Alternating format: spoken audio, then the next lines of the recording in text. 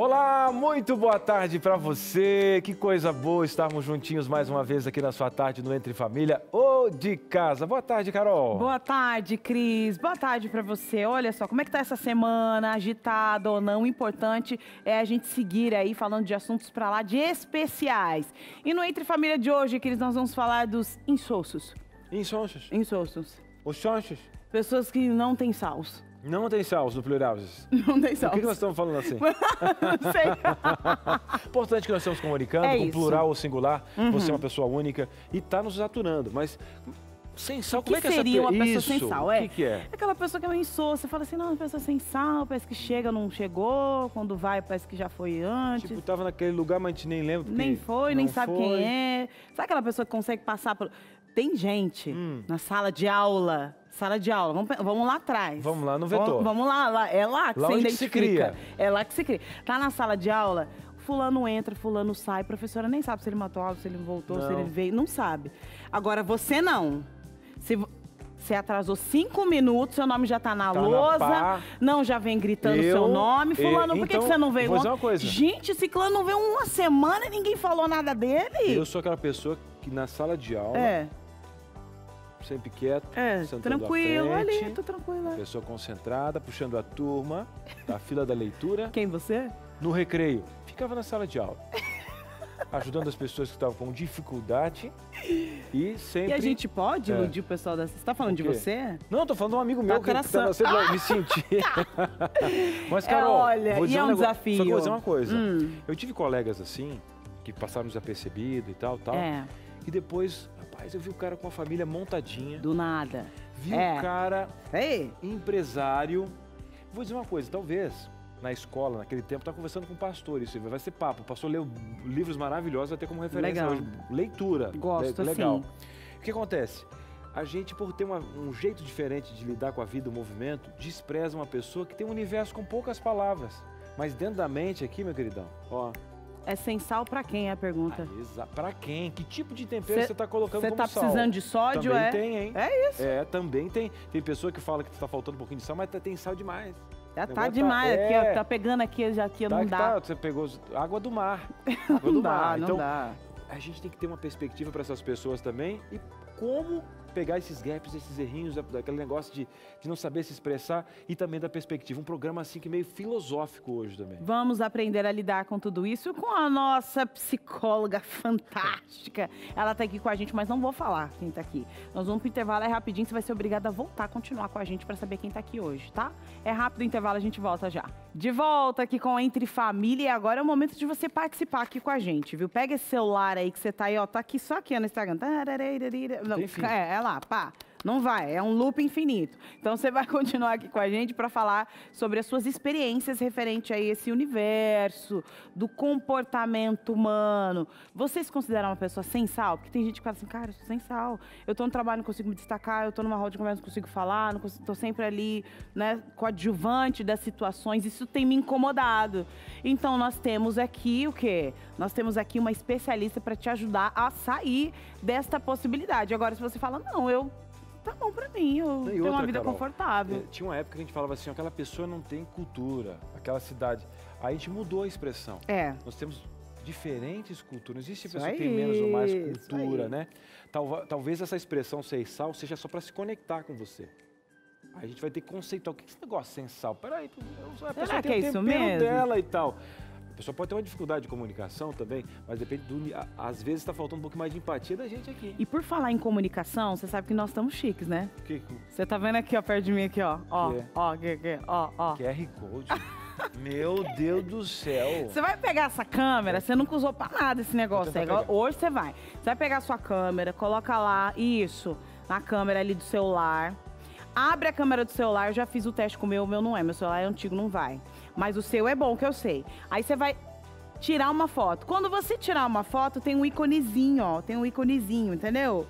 E aí você consegue chegar. Se o seu celular for como o meu, que não chega, não chega, né? Você vai baixar um aplicativo do QR Code, porque isso ninguém fala. Sim. Ninguém fala, porque aí todo mundo tá lá. É, eu tô aqui, aqui, tá, tá, tá, meu- aqui, meu telefone vale um carro, pá, tá, e tal. E aí? pá. E aí você fica Não. lá, aqui, ó. Não. Você, você- você coloca o celular ali, o celular fala assim, ó, Uh, não conseguiu. O celular rejeita. Não, Aí nada disso. aí Aí, que você vai falar, nossa, o meu celular é sem sal? Não. Não. Você vai fazer o seguinte, você vai pegar, vai baixar o aplicativo do QR Code e vai utilizá-lo, entendeu? E vale a pena baixar, porque todos os programas da TV Novo Tempo estão aí inovando. Vale a pena. Mas se você ainda não tem, fala assim, eu prefiro nas antigas, eu quero mandar mesmo a minha interação, eu quero adicionar o número do Entre WhatsApp. Família no WhatsApp. 12983150249. Céu tá azul para você participar. DDD 12983150249. O telefone azul tá igual ao nosso TP, não tem número, graças a Deus a gente decorou. Você tem memória. É, Graças a Deus. certo. Bora lá. Vamos lá. E ele é uma pessoa assim que ele. Eu não diria que ele tem muito sal e nem pouco sal. Eu digo que ele, Ele tá é uma bem pessoa temperada. É. É uma pessoa bem temperada, na medida certa, para todos os paladares. Verdade. Todos É os temperos. Todos. O tupete dele já é uma linha de comunicação que não precisa nem falar. Já vem com autoexplicação. É o tempero da mamãe. Pastor Gilmar Batistotes. O temperado. Vou Segura. É, hoje Segura que tem todo o resultado. Eu vi que dá certo. dá Segura, certo, pastor, dá segura. certo. Como vai, Olha pra cima, pensa em outra coisa. Tudo bem, Cris? Satisfação. Tudo bem, Carol?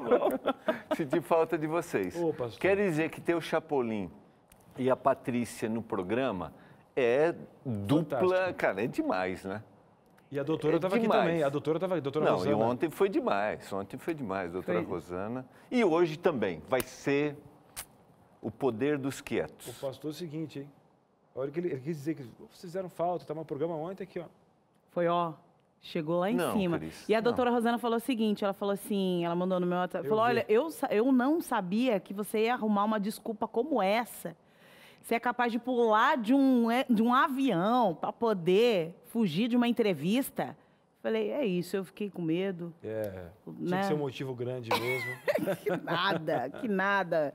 Me levaram para uma emboscada, amanhã você vai saber qual é. E é o seguinte, nós temos aqui hoje com a gente a especialista Eneida Torres, ela é doutora em psicologia e vai ajudar a gente a entender exatamente como o pastor falou, qual é o poder dos quietos. Ou será que é o sem sal mesmo? Boa tarde. Boa tarde, é prazer estar aqui com vocês. É, nem sempre é o poder só dos quietos, né? Porque daí o que a gente está falando às vezes envolve a personalidade da pessoa. A gente que gosta muito das pesquisas, né? A personalidade é algo que está difícil de ser definido já há muito tempo. Desde a antiguidade se estuda, várias áreas do conhecimento buscam uma explicação para dizer assim, o que é a personalidade? Personalidade, se você for lá no, no Wikipédia, lá no Google, aparece. Ele vem da palavra persona, do latim, que significa máscara. Eram as máscaras que os atores romanos usavam e elas eram de acordo com o personagem, com o que eles iriam representar, eles colocavam aquela máscara. Então, a personalidade é aquilo que aparece e que não obrigatoriamente eu tenho total controle dela. Mas depende da vertente, né, da área de estudos, porque a personalidade são as características que cada pessoa tem.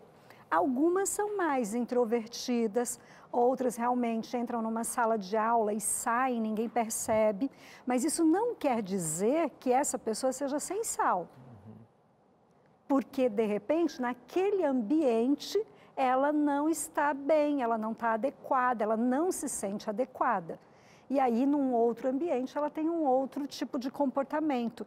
Então, nós somos seres humanos que temos algumas reações de acordo com o ambiente que nós estamos também, ou da forma que nós vamos nos adaptando às situações que acontecem.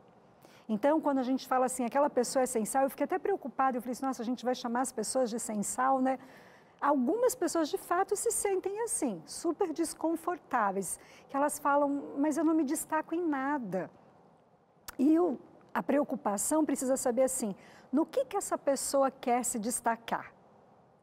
Porque hoje a gente vive também um momento assim, ao mesmo tempo em que as pessoas querem se destacar, eu já ouvi várias pessoas nos últimos meses falando: eu quero ser celebridade, eu quero ser influencer, eu quero isso, eu quero aquilo. E, mas são pessoas que querem fazer isso porque todos estão fazendo. Então, quando eu faço tudo o que está todo mundo fazendo, eu não tenho como me diferenciar. Eneida, então, é, eu teria que desenvolver a habilidade de entender. uma pessoa que talvez tenha dificuldades, que seja a sua personalidade, ela é mais reservada, é mais introvertida, com aquela pessoa que tenha limitações de ação. São, seria mais ou menos nessa linha? Em palavras bem, assim, usando, bem básicas, sim. É, é porque sim. assim, limitações de ações, assim, que é o que a gente usou aqui a, a expressão sensal. Eu tenho dificuldades como trabalhar com essa pessoa. Por outro lado, eu também posso ter uma visão equivocada, achando que a pessoa é assim, mas na realidade é uma pessoa introvertida. Né? É, e a pessoa introvertida nem sempre quer dizer que ela é uma pessoa infeliz, que ela é amarga. Às vezes, ela, dentro do mundo dela, ela está completa.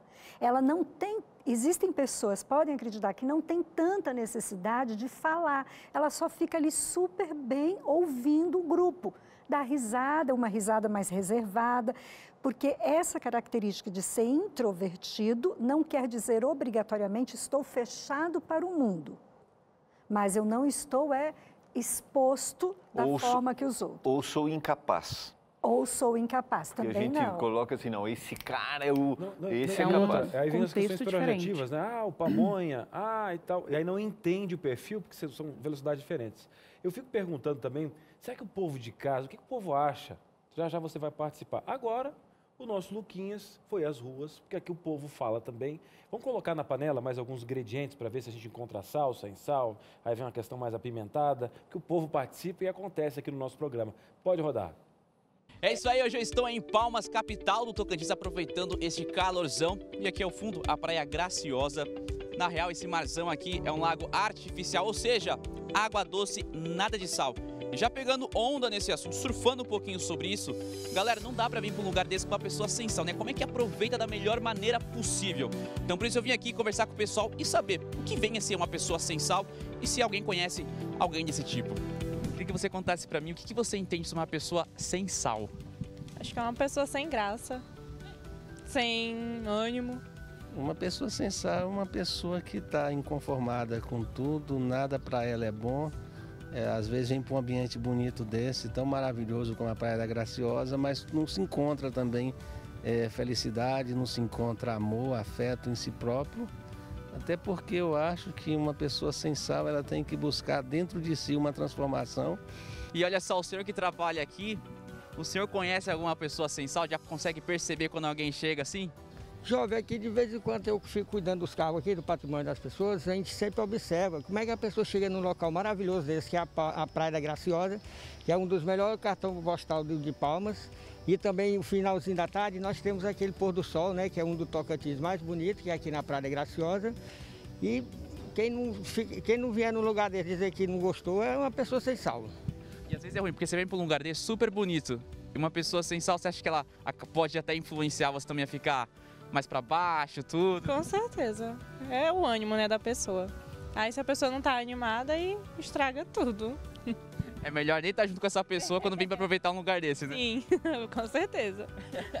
É, essas pessoas, elas trazem é, para a gente também, é, se a gente não tiver uma mente forte, um pensamento forte daquilo que a gente quer, a gente se transforma é, igual ela, a gente vai começar a ver a vida de uma outra maneira. Então, se a gente não puder não ter é, é, uma segurança grande de estar perto dela, é melhor nem se, a, se aproximar, né? Estar longe, porque senão ela vai contaminar aquela essência boa que existe dentro da gente. E o senhor de longe consegue perceber quando alguém é nessa pegada, né? Ah, com certeza. Eu estou aqui, eu, tanto o público que eu estou tomando desconto aqui de vários carros, então tem várias pessoas. O ser humano é difícil de gente entender, né? Então, geralmente aparecem umas pessoas dessas aí. E você conhece alguém assim? Você consegue lembrar de alguém que não precisa contar quem é a pessoa, mas você conhece? Conheço. Como que ela age geralmente? Bem calada, bem assim, estraga mesmo o prazer, assim, o rolê da pessoa. Pode ser o melhor momento possível. E aí acaba estragando tudo. Conta de uma pessoa. O senhor, pelo que eu percebi, não tem nada disso. É uma pessoa super alegre sempre, né? Oh, mas o local que eu trabalho aqui é apreciado por Deus. Já uma maravilhosa essa aí, final da tarde, um pôr do sol. Então eu tô aqui só entre os amigos, apesar que eu tô cuidando dos carros, mas no lugar desse aqui eu tô abençoado. É maravilhoso que é a Praia da Graciosa. Tá super abençoado. Cara, bom trabalho, obrigado por você participar, viu? E até uma próxima, viu? É isso aí, pessoal. Seguinte, andei por aqui, conversei com o pessoal e não conheci ninguém sem sal. Também com esse cenário por aqui, tem nem como, né? Vou fazer o seguinte, vou garantir minha água de coco porque hoje tá precisando, hoje tô merecendo e vocês continuem por aí conversando mais sobre isso que eu garanto por aqui. Fui! Água de coco, gente? Como é que terminou a matéria desse jeito? Eu tô aqui com essa blusa de lã. Não que tá que é frio isso aqui, aqui? no Vale do Paraíba, já aqui em São Ah. Paulo, gente. Aí vem na praia aqui. Ô, Luquinhas, faz isso não, rapaz. Isso que é uma atitude sem sal. Isso que é ser sem sal, fazer isso com os colegas. Ele manda bem demais. Obrigado, Lucas. E algumas. Apareceram aí algumas nomenclaturas diferentes, né? Para os significados diferentes para o termo sem sal, né? Teve gente que falou: olha, sem sal para mim aqui é alguém que reclama de tudo. Enquanto eles falavam lá, a gente falava aqui também. Sem sal é alguém que está insatisfeito ou alguém que é bonito por fora, mas dentro, né? Como diz o, como diz o poeta, né? Por fora bela viola e por dentro pão bolorento. É o sem sal. Chaves. Boa. Mas o conceito meu sem sal. Eu lembro que hoje em dia o pessoal está perdendo essa expectativa, né? Infelizmente, e não pode perder de, daquela conquista. Com aquela moça que você olha, né? Muitos aqui oram por esse conceito, né? cristão, por aquela pessoa, se chega lá. Né? Então, continue fazendo isso, tá? Aquele aplicativo ali é só bobagem. Mas tudo bem, respeitando a sua decisão. Mas um exemplo. Na adolescência, rapaz, a menina linda e tal, você desenha ela no caderno, aquelas coisas. Você chegou para falar com a Abriu menina. a boca Eu disse, eu não acredito. eu não acredito. sem sal. Então, aí- não, a pessoa com outro negócio, tipo, às vezes, fora da, como a gente falava no- no- no- na- lá na adolescência, fora da sua vibe, tipo, sem conexão. Para mim, no caso, uma pessoa muito fútil já fugiu da, daquela questão. Parece que depois que você olha, perdeu aquela beleza. Para mim, tirou aquele tempero que eu tinha da pessoa. Então, a minha concepção de sem sal é quando você tem uma expectativa moral daquela pessoa, ou de visão. E a- às vezes pode ser até uma questão de escolha. De repente, aquela pessoa vai agradar muito a outra pessoa. Mas naquilo ali, no meu quesito de Pra conexão, você, né? não tinha o tempero necessário para que eu pudesse continuar na relação. Tipo, uma visão de sem sal no meu sentido. Foi, na minha adolescência era assim, entendeu? Então, mas aí ali, é, ela falou uma coisa, mesmo brincando, mas é verdade, você falou algo que vai embasando o que a Carol falou, mas ali a pessoa fala de sem sal até diferente disso. Porque eles acham que uma pessoa que não está sorrindo o tempo todo, não está num oba-oba, né, numa, numa festa, é essa pessoa que é sem sal. E nem sempre isso significa que é sem sal, porque a ideia do sem sal, a gente está percebendo que ela também está sendo muito particular. Porque se você for procurar num consenso maior, nem todos acreditam que é assim. Mas aquilo que a gente falou também enquanto eles estavam falando ali, é, existe uma ideia do brasileiro, de maneira geral, que a pessoa com muito sal, a pessoa muito, né, aquela da hora ali, é essa pessoa que aparece muito, que brinca muito, que dá risada e que é muito bonita por fora também. Essa é a ideia, porque na verdade se olha aquela expectativa da aparência, como você falou que os adolescentes olham muitos adultos, eles vão a vida inteira nessa expectativa. Continuam ad- admirando pessoas que têm características populares. Populares, mas o que é popular nem sempre diz quem é a pessoa de verdade. Até porque algumas pessoas são tímidas e elas se esforçam para que elas possam fazer alguma coisa em público.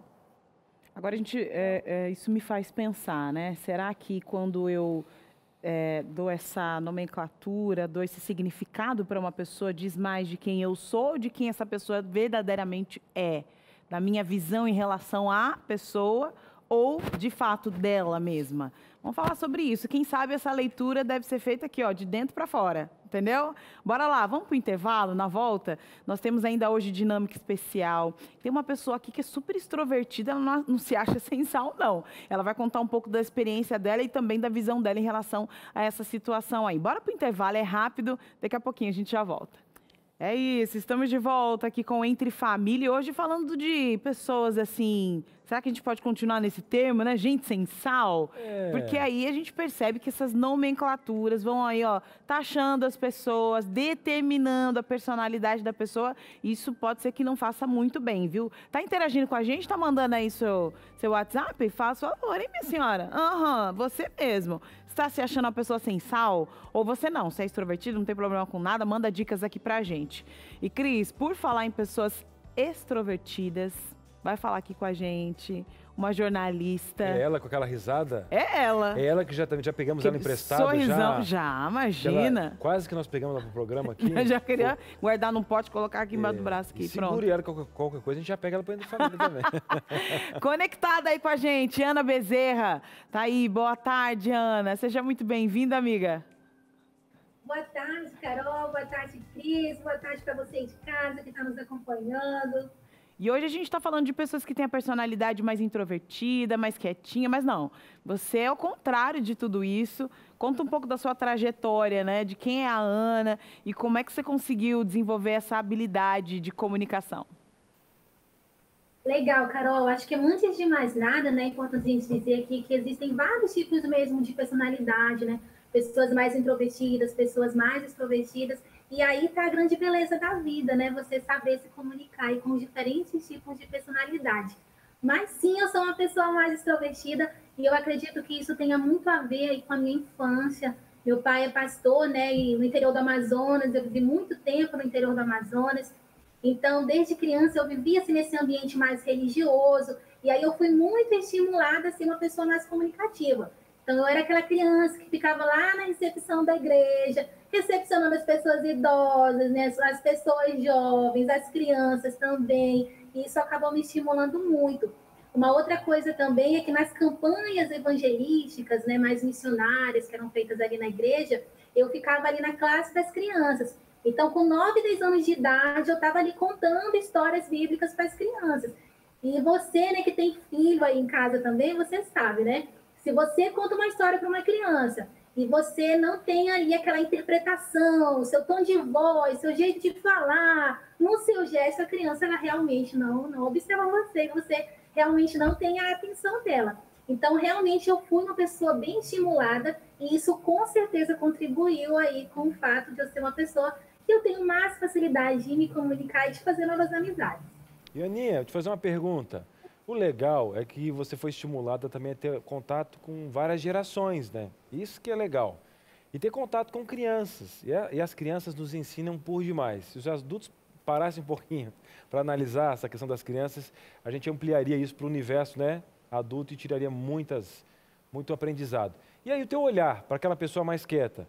Normalmente, eu já tive dificuldade na minha vida, porque como você tem aquele ritmo, brincando e tal, tal, né? Automaticamente você vai vendo quem está em conexão com você e como você vi- vive um ritmo, você deixa de notar grandes, preciosas pérolas ao meio do caminho, né? Que são pessoas que você podia aprender mais. Como é que você lida com aquela pessoa que está um pouquinho mais quietinha, não entrou naquela conversa, não pegou aquele assunto factual do WhatsApp? Como é que você lida?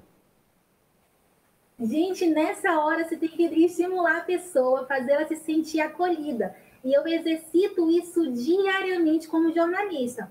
Porque eu tô ali na rua, né? Vou fazer um fala pouco com o pessoal na rua, a pessoa nunca me viu e eu tenho que ganhar ali realmente a simpatia dela naquele momento. A gente faz bastante entrada ao vivo também. Então não tem aquele roteirinho, aquele script, você tem que realmente tentar desenvolver a conversa com a pessoa ali do seu lado, fazer o pessoal de casa prestar atenção em você também, e isso acaba ajudando muito. Uma outra coisa também é que, por causa da profissão, um dia eu estou falando, por exemplo, com um juiz, com um desembargador, já entrevistei, por exemplo, o ministro da Educação, mas outro dia eu estou sentada ali na calçada com uma pessoa que vive em situação de rua.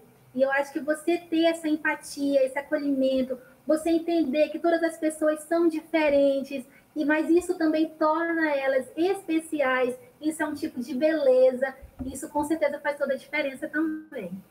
Olha, Ani- pastor, pode fazer uma pergunta, pastor, para a gente encerrar? Bem, Ana. Ana, quando você olha, você falou do seu ambiente que te favoreceu a isso. Quando você olha para o seu contexto familiar, com quem você se identifica? Seu pai é assim, sua mãe é assim, seus avós são assim? Qual é o. é, olhando para a sua família? Olha, isso aí é bem interessante, gente, porque meu pai, ele fala bastante. Meu pai, né, por ele ser pastor, né, como você, até, aí são pessoas que têm mais essa desenvoltura, né, de se comunicar. Já minha mãe, ela é mais tímida. ela é aquela pessoa de bastidores mesmo. Então, ela é aquela que organiza, sabe, assim, um aniversário para alguém que está precisando, organiza ali uma pessoa que está precisando de uma mãezinha, por exemplo, que vai ter ali um filhinho. Ela organiza o chá de bebê. Então, dentro de casa, é, foi muito fácil para mim perceber esses tipos de personalidades que são diferentes, mas que contribuem muito. Imagina, né, um mundo com pessoas só como o meu pai ou um mundo com pessoas só como a minha mãe. Né? Então, existe beleza realmente em a gente observar esses diferentes tipos de personalidade, gente. E é sempre um prazer a gente poder ajudar e até ajudar a estimular né, essas pessoas que querem também desenvolver a arte da comunicação, já que hoje é tão importante também. Legal, Aninha. Obrigado, viu? Que você continue dando sabor no ambiente que você estiver aí, tá bom? Um abraço, querida. Eu que agradeço a oportunidade, gente. Valeu. É, eu, eu até ia, ia perguntar o nome da mãe, esqueci, né? Não significa que a mãe, sendo mais reservada, não seja uma pessoa que tenha muito sabor, né? Eu acho que Ou foi que legal não tenha essa... contribuído para a personalidade da De- Ana. né? exato, Porque exato. eu acho que as pessoas marcam muito essa questão familiar. né? Inclusive, hoje a gente vai ter um quadro, viu? Um quadro com o pastor Marcelo Carvalho daqui a pouquinho. Então, você fica ligadinho. Cinco motivos para você entender aí a história da sua família e como isso tem a ver com a construção da sua personalidade. Eneida, eu Mas- perguntei isso, que eu queria só que, que você falasse sobre isso, que foi minha intenção. O ambiente nos influencia, mas a gente também tem essa coisa da, da herança, né? Aquilo que a gente, aquilo que a gente trouxe também no nosso temperamento, é isso? É, existe, existe uma grande teoria que diz que nossa personalidade, nosso temperamento tem sim uma influência biológica. Diz que tem. Mas aqui a gente pega algo que a Carol tinha falado também, que é aquela questão: será que essa minha visão do outro ser sensal não parte da minha ideia e não do que o outro é de verdade? Porque você vê ali, em momento algum, a Ana, ela fez menção dessas pessoas com quem ela encontra, ela falou das situações diferentes que essas pessoas estão mas ela não destacou nada diferente do que é aquela pessoa. Então, ela sim cresceu num ambiente em que permitiu que ela tivesse uma identidade própria.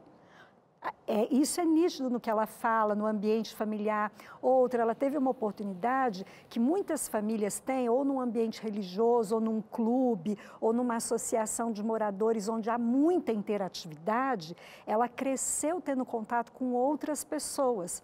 Então, ela foi ali com pessoas mais velhas, pessoas mais novas, e isso vai fazendo com que ela tenha esse contato e vai consolidando a identidade dela, em que eu não tenho que ser obrigatoriamente reservada com a minha mãe, como a minha mãe, apesar do meu pai ser falante, porque ela não se mostrou só falante, ela, ela mostrou assim uma grande simpatia. Você já fica envolvido e dando risada ali quando ela fala.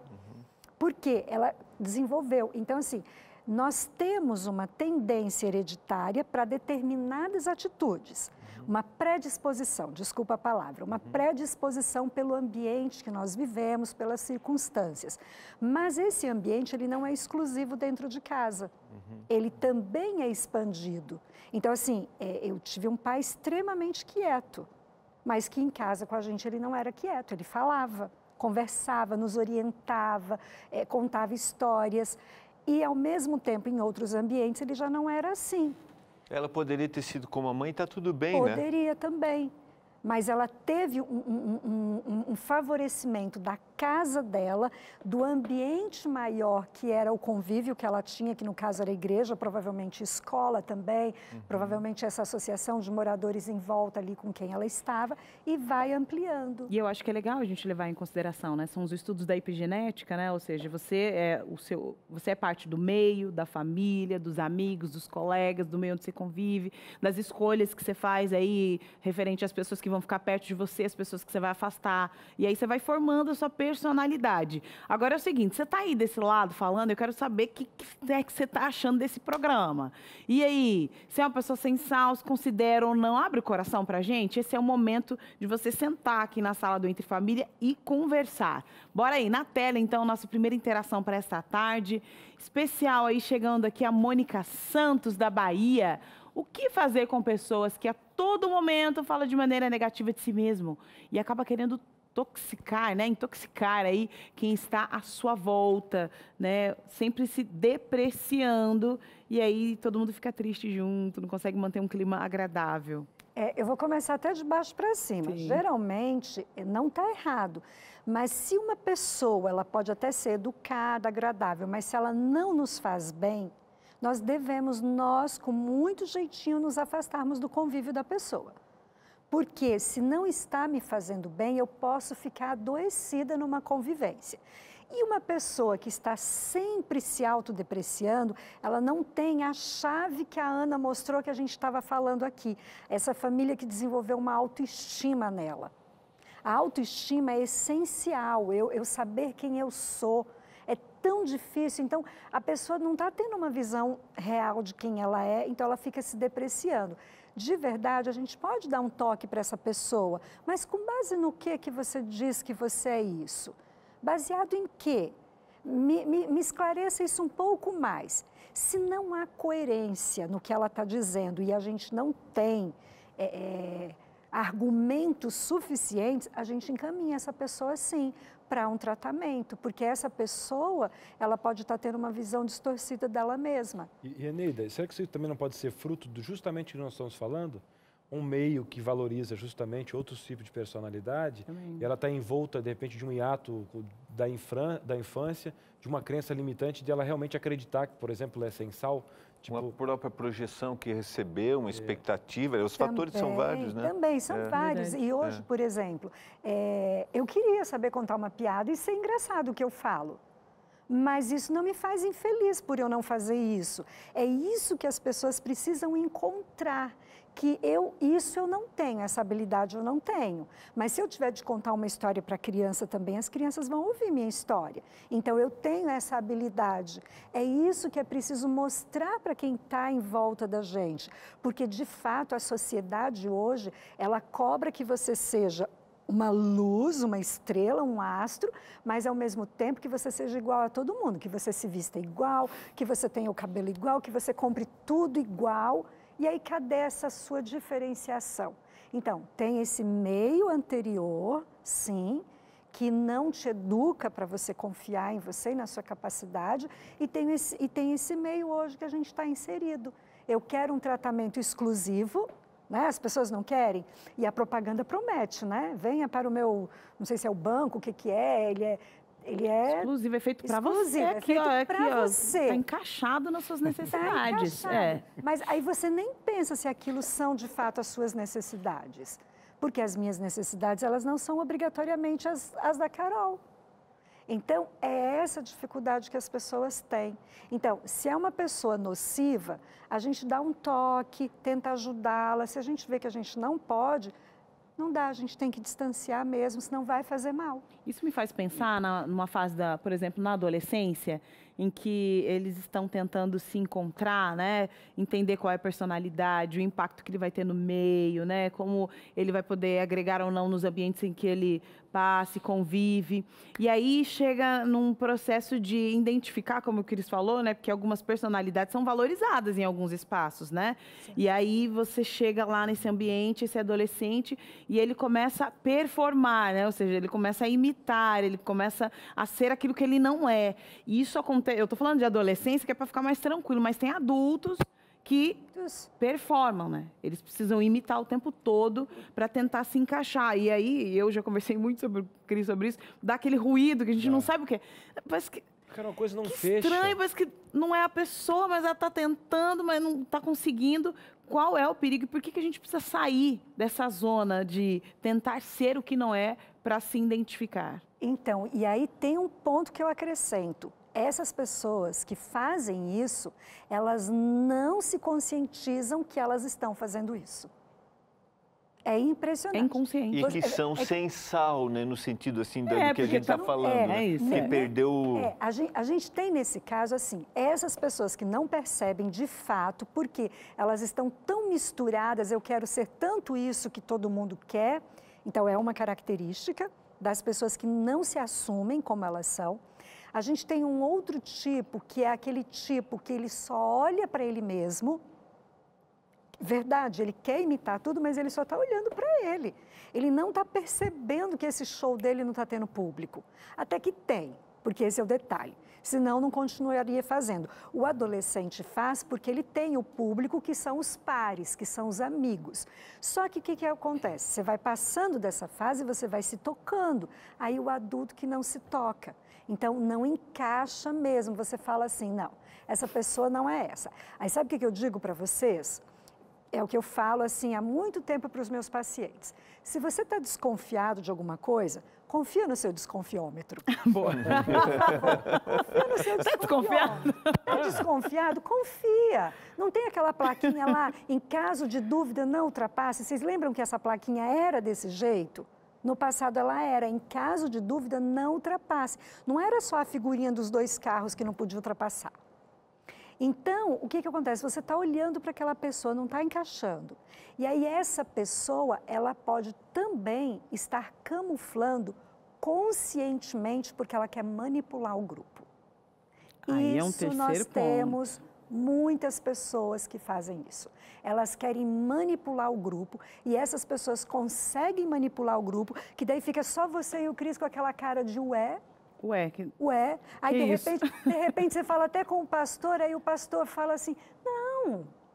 acho que Aí ele, ele- aí ele fica assim, não, mas eu confio no Cris e na Carol, mas não, mas aquela pessoa. Isso acontece com muita frequência. Pessoas que conseguem convencer a maioria, quando na verdade o que elas estão fazendo não é nada além do que imitar o que já está todo mundo fazendo.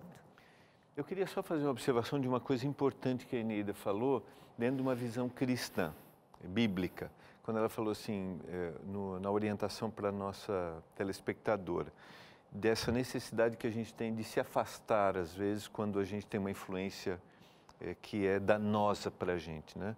Alguns podem achar que isso não é cristianismo e que não é amor. E esse é um equívoco. Criar limites é uma forma da gente demonstrar amor. E temperar, e temperar também é uma forma de revelar amor. E mesmo que isso seja no âmbito familiar, isso também é sadio. Eu ofereço amor. E oferecer amor, né, Eneida? Também é criar esses limites, mesmo no ambiente mais se próximo. você ama o próximo como a você mesmo, por se amar, é que você precisa se afastar. Se afasta e fica tranquila, sem briga, sem discussão. E é o seguinte, olha, por falar aí nessa questão de família, como o pastor acabou de citar aqui, a importância de quem sabe você se afasta da família e tal, é importante também que você compreenda qual é a história da sua família, a trajetória do seu pai, da sua mãe, das pessoas que estão ali, ó, diretamente influenciando e que influenciaram a sua personalidade. Você quer cinco motivos para aprofundar na história da sua família, entender a sua árvore genealógica? Pronto, o pastor Marcelo Carvalho vai dar esses motivos para nós. Pode rodar o VT. Quem não conhece de onde veio, não sabe quem é, não sabe aonde está e não sabe também para onde quer ir. Por isso que conhecer a história da sua família é muito importante, é fundamental. Ninguém veio do ovo. Nós viemos de seres humanos que também tiveram histórias.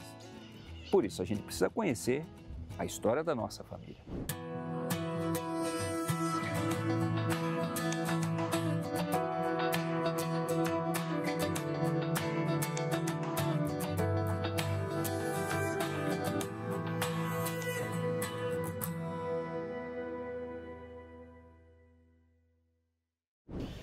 No Brasil a gente não tem muito esse costume. Malemar a gente conhece os pais, os avós, um outro, bisavô, né? E aqueles que vêm para trás, então, a gente malemar sabe. Às vezes fica sabendo a origem da família por causa do nome, que o nome aponta para uma nação e assim por diante. Mas é importante que você conheça a história da sua família. Por quê? Quantas vezes durante a vida a gente se pega assim, poxa, por que, que eu tenho tais gestos? Por que, que eu tenho tais hábitos? Aí você vai conhecer os seus parentes e você fala assim, ah, a laranja não cai muito longe do pé, já diz o ditado. Você entende, por exemplo, os seus gostos, os seus desejos. Você também tem o privilégio de conhecer é, por que, que você tem certos defeitos, da onde eles vêm. Você também tem o privilégio de entender a dinâmica da sua família.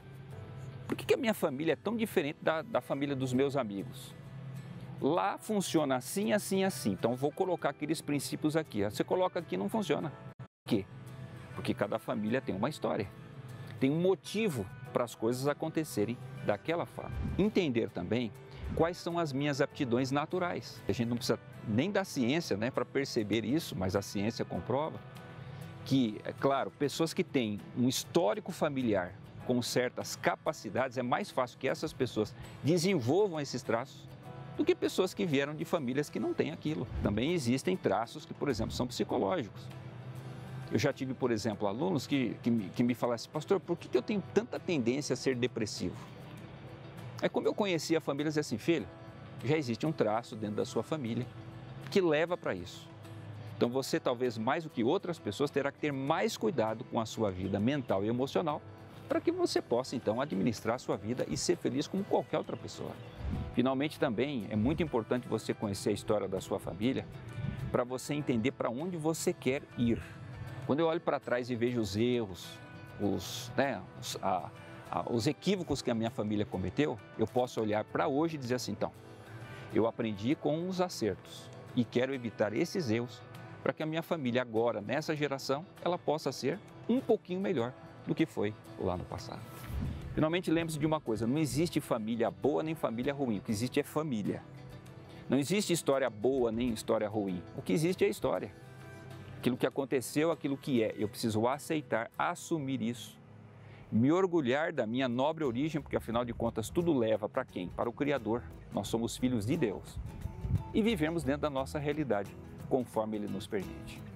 Que você possa fazer essa viagem ao passado Pega lá, né? As fotos, vai atrás, conversa, dialoga com a, com a sua mãe, pergunta para quem você pode. Se situe dentro do tempo. Isso eu tenho certeza que vai fazer muito bem para a sua vida emocional. Deus vai abençoar você para que você possa ter uma grande vida dentro da sua geração. Deus te abençoe para isso. Grande abraço e até a próxima. Valeu, pastor. Deixa meu óculos para me mandar um abraço. Um grande abraço. Ó, ó, pastor. Muito bom. Olha, conteúdo é o que mais tem aqui na nossa tarde. Vamos fazer o seguinte: dá tempo de tomar uma aguinha. A Eneida está aqui para receber a sua pergunta, falando dessa questão sem sal, dando um conceito, trabalhando a nossa empatia. Um breve intervalo e a gente volta já já. Muito bem, estamos de volta. E aí, tá gostando dessa questão sem sal? Cris, eu comecei meio assim, tá? Que eu me achava meio sem sal e tal. Agora eu tô vendo, dando uma olhadinha para fora, assim, vendo que às vezes a gente tem que mudar o nosso olhar. Falando em mudar, falando em novidade, foca aqui na sua revista que chegou quentinha, inclusive nós estamos vivenciando uma semana muito especial, que é o Olhar de Esperança, onde ela foi lançada, a revista Sentimentos. Você sabe quem é a autora dessa revista? A doutora Rosana, verdade. Ela que é psicóloga, fez três doutorados na área, é cientista, né, pesquisadora, que bênção de revista. Mas, Cris, como é que a gente trabalha essa questão toda? Ó, violinha, tocando? Pode deixar, viu? Se quiser, toca um fundo aqui, estamos em casa.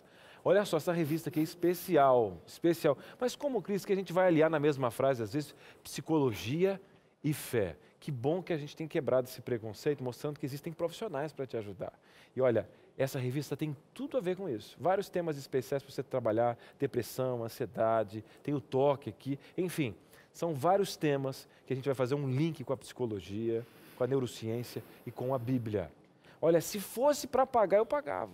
Mas é de graça porque tem, ó, o cheirinho do Anjos da Esperança. Está sendo um sucesso à noite, que são muitas ligações. O povo aqui, ó, está tentando dar conta. O WhatsApp para poder responder, porque essa revista aqui, meus queridos, é um sucesso, porque é um conteúdo justamente porque nós estamos precisando entender a questão da psicologia, a psique, a persona, como nós falamos aqui, entender um pouquinho mais sobre essa, esse contexto aí e ligar, ligar com o contexto espiritual, essa integridade né, do ser aí. Vamos fazer o seguinte, Cris, eu peço aonde? Ah, eu vou lembrar do telefone. 0 operadora 12 2127 3121. Você pode ligar agora, nesse momento, e pedir a sua revista. Pega o telefone assim, ó, 0 operadora 12 2127 isso, 3121. Alô? Aí vai dar uma boa tarde para você, você vai preencher um cadastro, ó, show de bola. Benção. Inclusive, falando em cadastro, ainda hoje você vai, vai ficar sabendo aqui no programa o cuidado que nós temos com os seus dados. A Novo Tempo tem um compromisso com os seus dados. Já já a gente vai falar sobre isso. Cris, e o tal de WhatsApp tem para pedir? Pega agora. Teu WhatsApp é o 129 8244 4449. 129 8244 4449. Lembrando, que essa revista não custa nada, nem a postagem. E para você ficar sabendo, a doutora Rosana também preparou um conteúdo complementar dessa revista, que são as videoaulas. Não é um conteúdo que vai repetir, vai complementar. São oito episódios especiais que você vai encontrar no biblia.com.br. Fechou? Quando você vai pedindo a sua revista, vamos falar um pouquinho mais dessa questão sensal. E quem está com o saleiro na mão agora? Carol Félix. Tá aqui, tá aqui, já peguei aqui, meu filho. Você tá achando que aqui nós vamos jogar sal em tudo? Eu não quero saber se você não tá aguentando sódio aí, ó. Vou até mostrar para quem tá aí, ó. Ó, tá vendo? A dinâmica de agora, nós vamos colocar aqui algumas frases especiais. E aí, se você identificar, e vai ajudando a gente aqui também, viu? Nós vamos identificar aqui juntas, eu e aqui a Eneida, e nós vamos entender se, essa, se esse comportamento é típico de uma pessoa sem sal ou não. Bora juntas, então? Vamos lá então.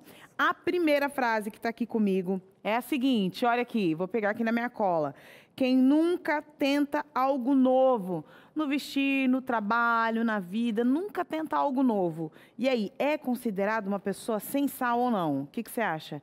Joga, Essa vamos, vamos é- de sal? Essa é bem perceptível que ela precisa de um pouco de Chuchu, sal na vida tá chuchu dela. Sem É, sal. Chuchu tá precisando de hortelã, de tempero Não, gente, melhorar. ó, jogando um salzinho aqui nessa pessoa, jogar um salzinho. Era isso mesmo, gente. Vou jo- Na verdade, tô achando que eu vou jogar sal em tudo aqui, Mas não é né? simpatia não, viu, Carol? Isso é tempero. Ah, é, o Aqui povo não, tá Aqui achando. não tem.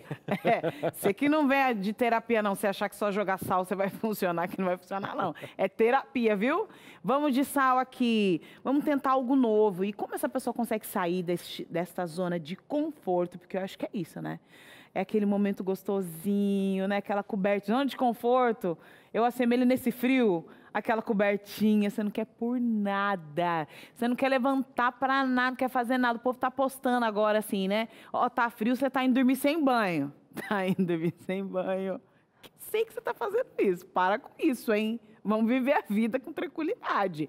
Aí essa pessoa que tá aí dentro, dormindo sem banho, porque não quer encarar um chuveiro, bom, tem que sair da zona de conforto. É. Como faz? Na verdade, essa pessoa fica lá achando que está tudo bem, só que o pé continua gelado. Para ativar a circulação, ela precisa lavar os pés, ela precisa molhar os pés, ela precisa molhar o corpo. Então, essa pessoa que fica lá, não quer encarar nada, na verdade, é um suposto conforto, porque não está 100% confortável. A gente precisa encarar, experimentar algo novo. Nem sempre é fácil, mas pelo menos o sabor de experimentar. E as pessoas que não tentam algo novo, muitas vezes é porque elas têm medo. E eu fui ler sobre isso também, sobre a questão do medo, porque o medo é o que nos impede de ser feliz. Então, quando eu falo, não, eu não tento algo novo por medo, é, estamos apostando na infelicidade, com certeza. Opa! E você falando todo dia, não, eu quero ser feliz, eu quero ser feliz. Então, quem sabe é saindo da zona de conforto. E como a sua mãe sempre diz pra você, minha filha, é o seguinte: enquanto você não experimentar, você não sabe se gosta. É como a gente fala pros filhos todo dia na mesa ali, na hora de apresentar uma salada nova, uma fruta diferente. É isso, tem que experimentar. Vamos lá, vamos lá, vamos em busca da nossa felicidade. Segunda frase para você entender se é ou não esse seu comportamento está se identificando. Quero ver, hein? Vai lá. Gente que acha que, que sempre tá, tanto faz, é isso, né? Quem age como. Ah, tá. Quem age de forma calculada. Eu vou parar de seguir aqui porque tá tudo fora do lugar aqui, ó. Isso. Quem age de forma calculada, ou seja, ela tá sempre pensando. Mas não seria uma personalidade de, de organização, de algo que não quer que saia do eixo?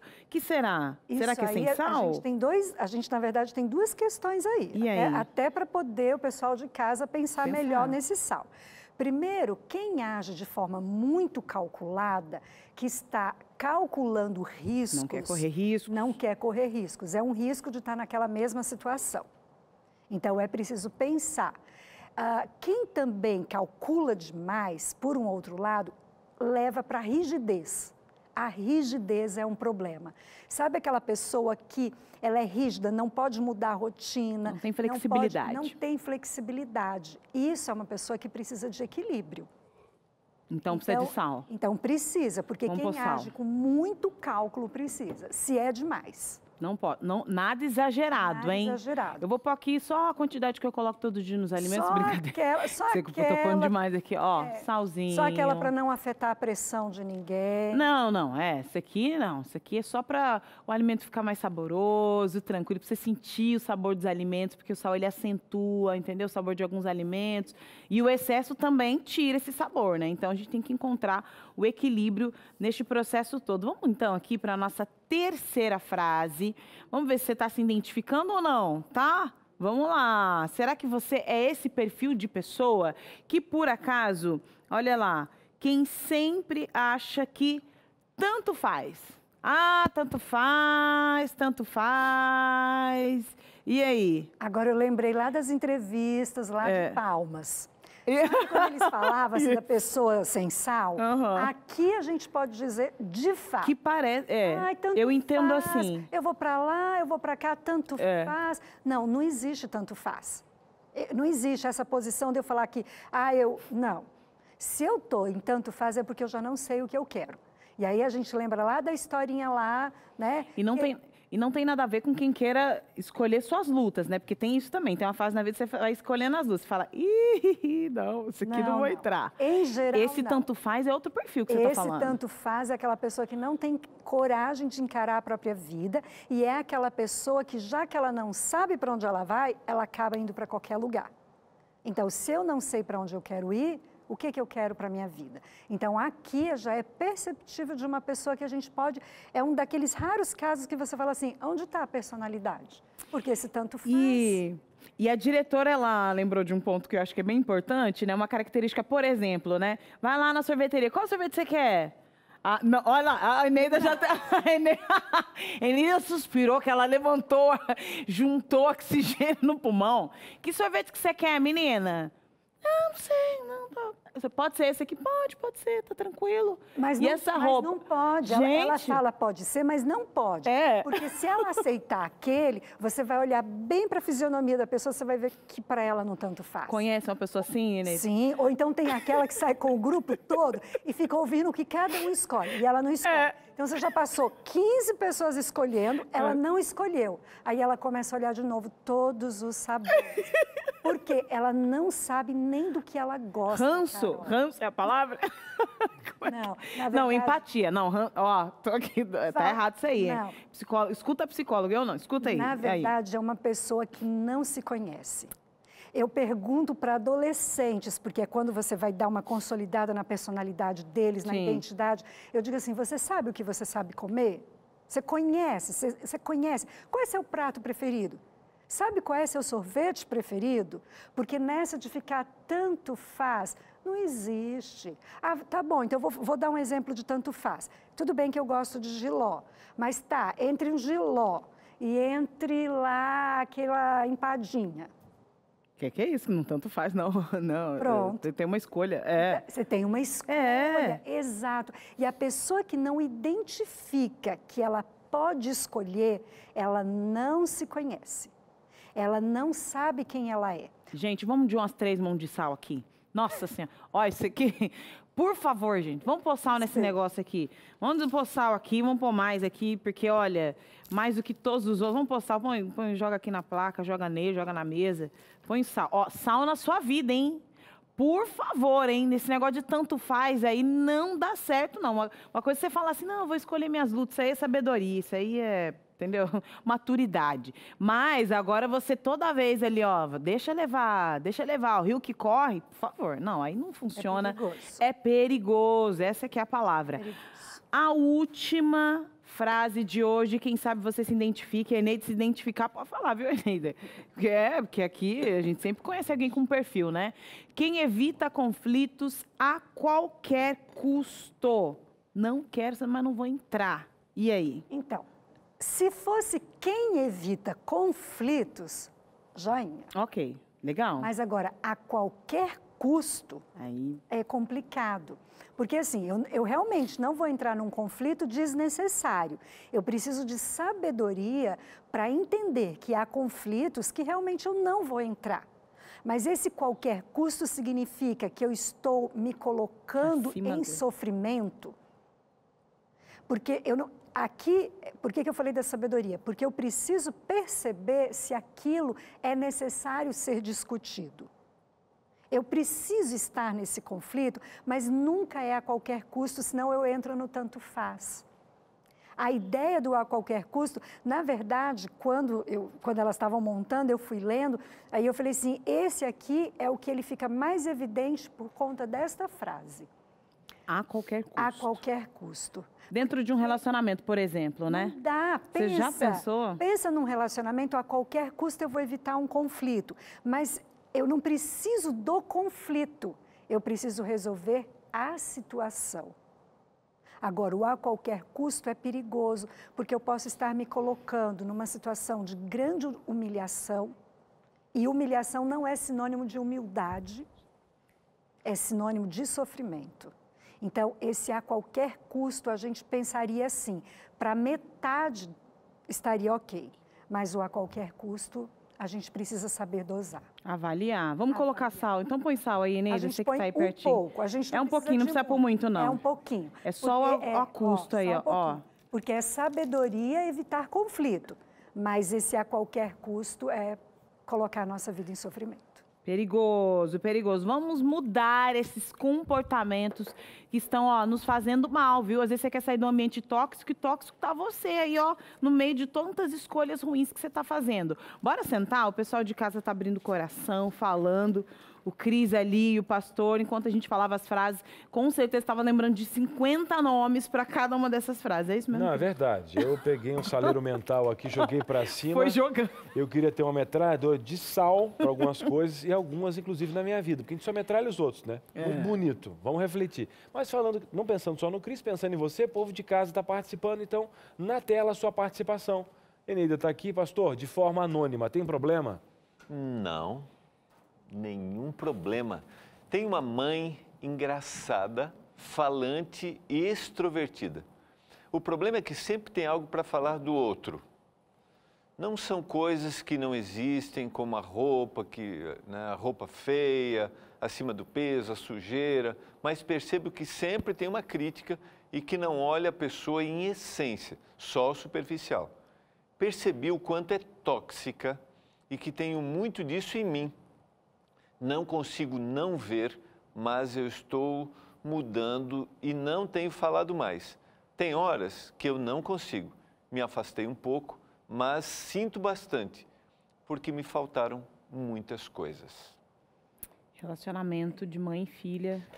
Você sabe que aqui tem uma coisa é. muito interessante, na primeira parte, quando ela fala da mãe, é, uma mãe que faz isso, ela não tem a noção do quanto isso é nocivo para filhas principalmente filhas meninas.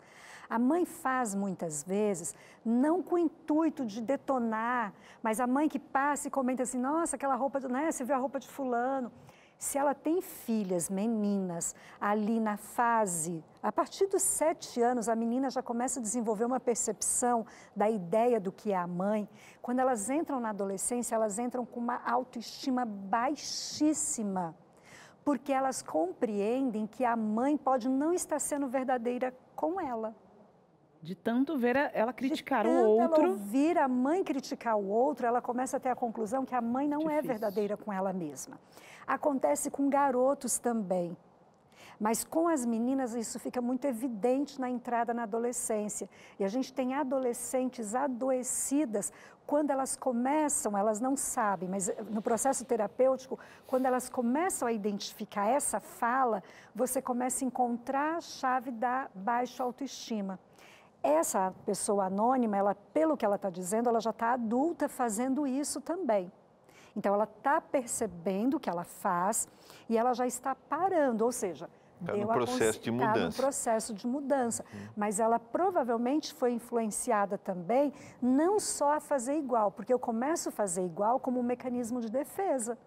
Eu vou rir junto com todo mundo para que ninguém dê risada de mim. É como gente... ela se vê, Exato. na verdade. A, a gente foi do internato e a gente tinha algumas brincadeiras no internato que assim, é, bom, eu não vou fazer tal brincadeira porque podem fazer comigo. Você tem que ter essa astúcia.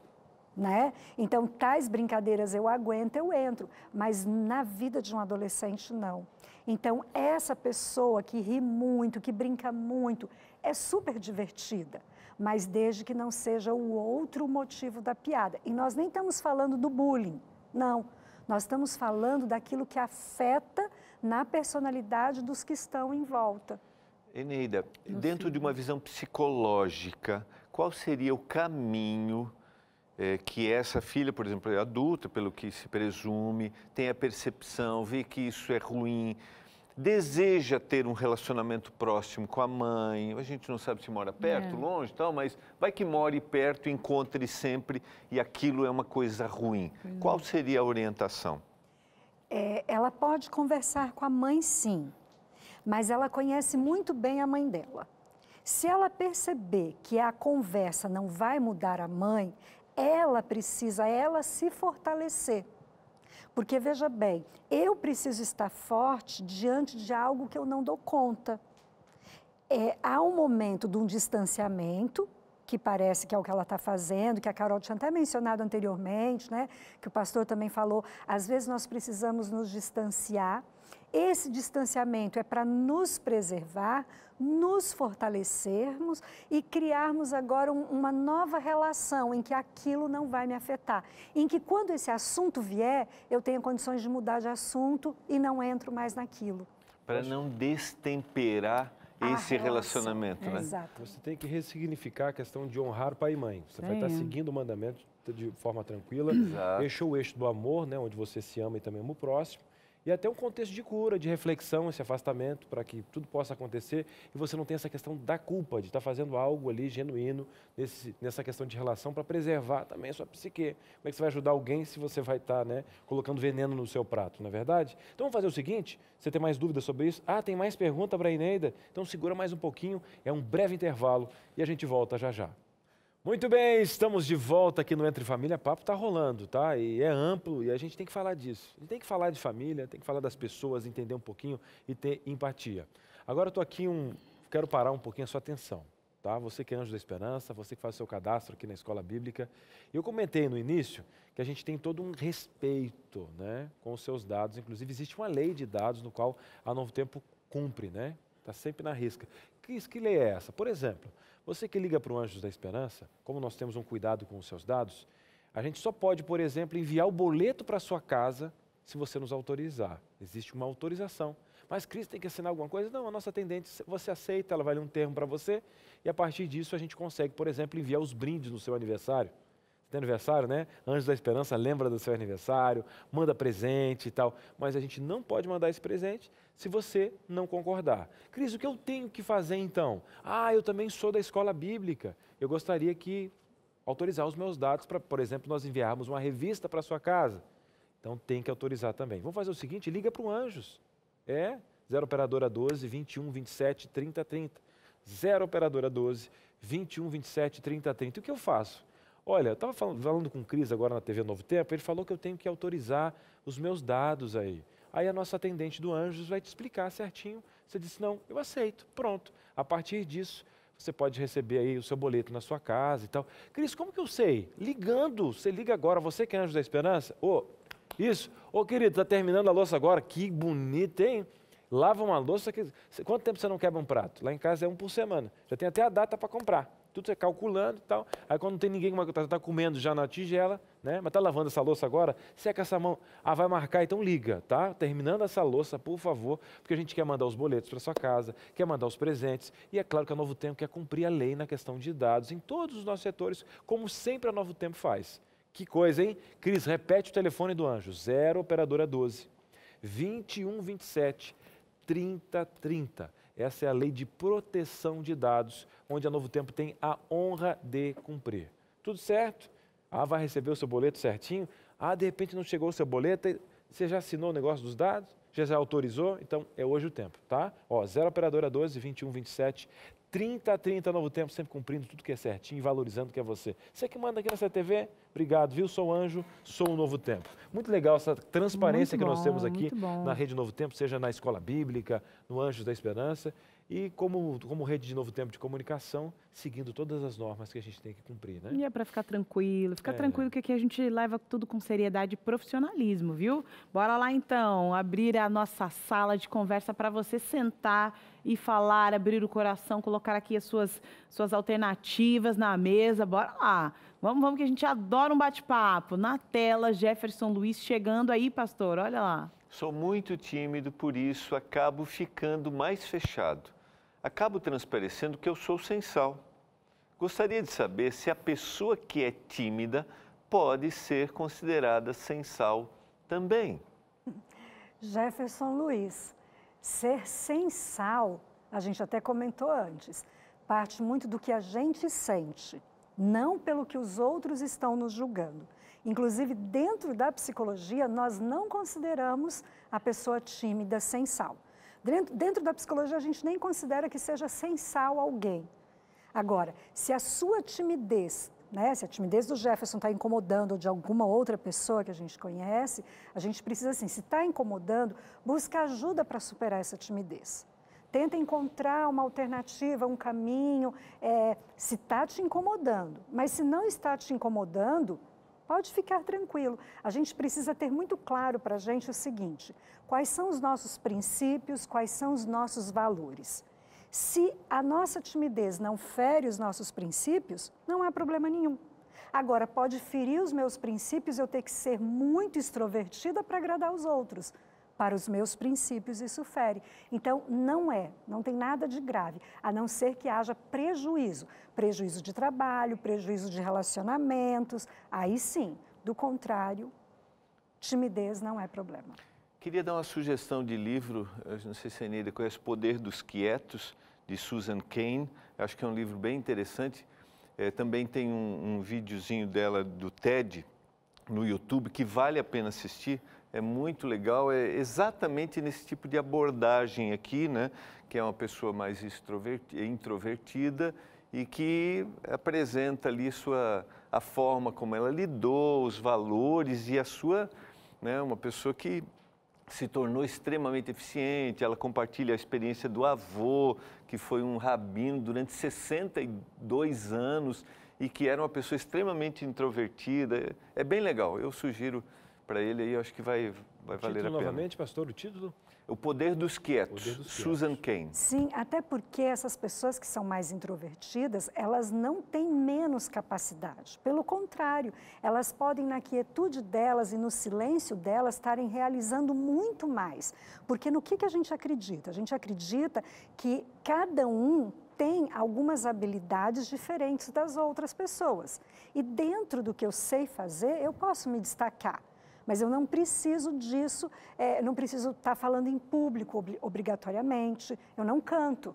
Então, eu não preciso disso para estar é, aparecendo. Então, ser tímido, ser retraído, eu lembrei agora da Ana que mencionou a mãe dela. A mãe dela, por trás dos bastidores, monta um chá de bebê, monta um evento, monta uma Eventos. festa e, no entanto, é reservada. Então, para aí a pessoa que estava perguntando, Jefferson Luiz, não há problema nenhum em ser tímido.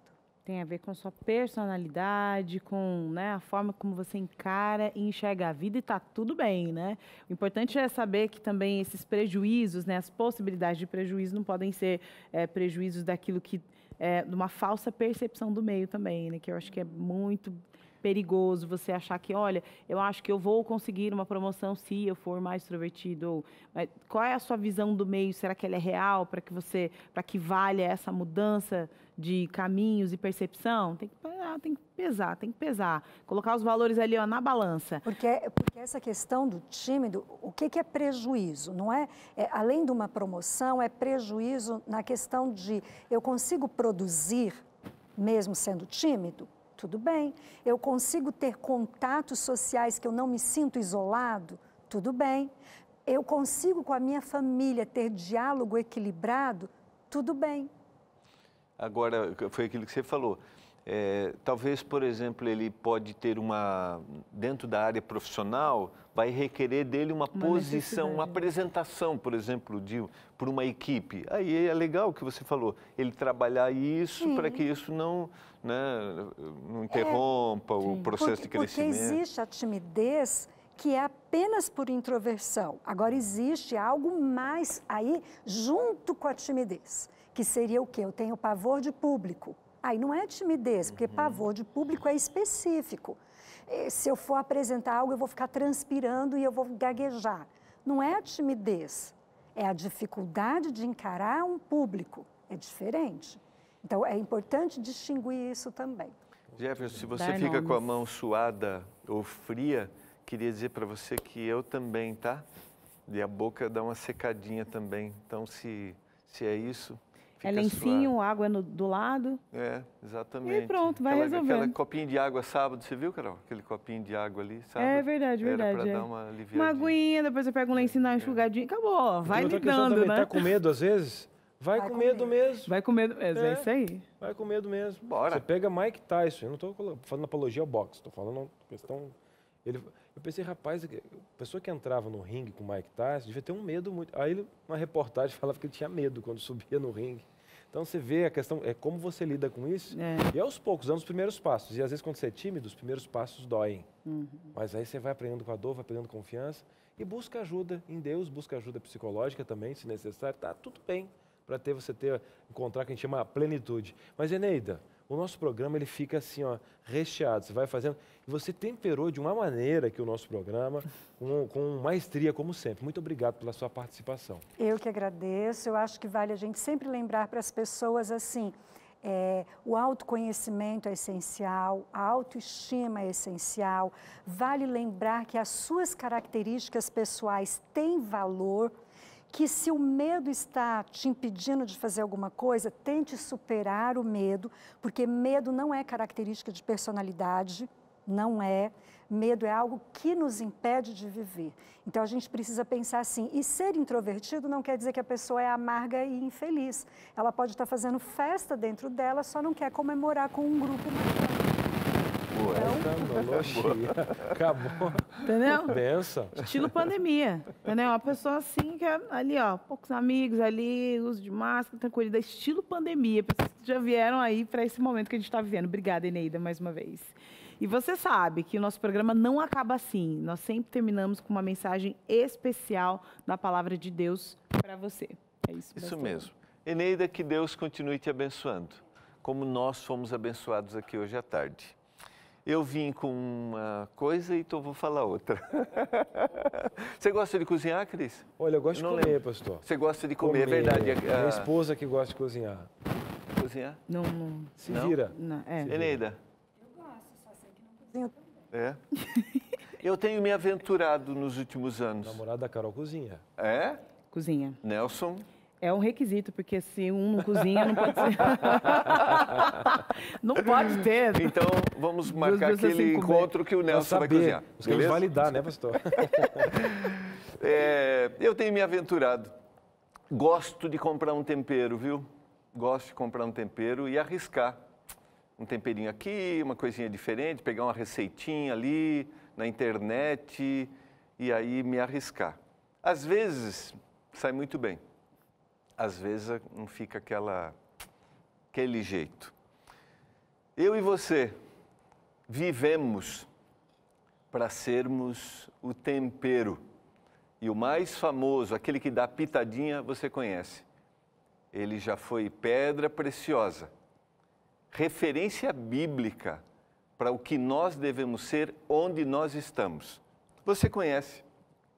Jesus disse essas palavras, está em Mateus capítulo 5, verso 13. Vós sois o sal da terra. Eu e você vivemos para temperar a vida das pessoas. Por isso tem que ser na dose certa, na medida certa. E quem me dá essa dose certa e essa medida certa?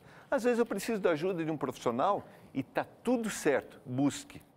Mas eu queria dizer para você que Jesus sempre procurou ser a medida certa, clamando para o Pai. E o texto de Lucas, capítulo 5, verso 16, diz que ele se retirava para lugares solitários e orava. Talvez eu e você precisamos buscar na contemplação a correta ação, o tempero certo. E o Senhor só precisa de um coração aberto para realizar milagres e transformações. Eu quero abrir o meu, para eu ser o sal na medida certa. Obrigada, pastor. É isso. Tá chegando, tá chegando aqui o vídeo saúde. Ali tem sal na medida certa, tem tempero na medida certa, porque o cheiro, gente. O cheiro que sai daquele estúdio eu vou te contar, viu? E hoje nós vamos falar sobre a relação do sono com a obesidade. Gente, fiquei curiosa, qual é essa relação?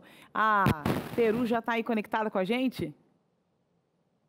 Olha, e tô super empolgada porque o assunto de hoje vai desvendar muitos mistérios por aí, porque o sono está super relacionado, está intimamente relacionado com a obesidade, que é pandemia, que é um assunto de saúde pública. E a gente quer entender qual é a importância, qual é a regulação hormonal que acontece quando a gente dorme e também quando a gente deixa de dormir, como é que isso fica bagunçado, proporcionando ou abrindo caminho para a obesidade.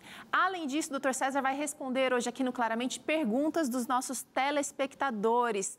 E, e são perguntas bastante interessantes. E a receita está por conta desse bolo salgado de linguiça da Super Bom. Eita. Receita chique por aqui, mais prática. Olha aí, gente. Um abraço para a turma da Super Bom. E Teru, é sempre fantástico. Fantástico. E nosso corredor aqui tem um cheiro que eu vou te dizer. Uma Ah. benção. Benção. Arlete, Arlete perfuma gostoso aqui, né? Quero te aproveitar e perguntar para você, você é uma pessoa acostumada a correr riscos? Gosta ou não? E aí? Eu, eu acho que eu já fui mais, cara. Hoje em dia eu tô um pouquinho mais. Será que tem a ver com a maturidade? É isso. Pra não chamar de outro nome, né, Cris? é, a barba já me diz alguma coisinha. Mas então tá. Um abraço, Teru. Um abraço. Até, Até amanhã. mais. Tchau, tchau. E amanhã você vai saber o que é correr riscos, hein? Acabou o programa. É isso. Amanhã a gente vai saltar de paraquedas. Dois anos dentro de família amanhã, hein? Olha aí.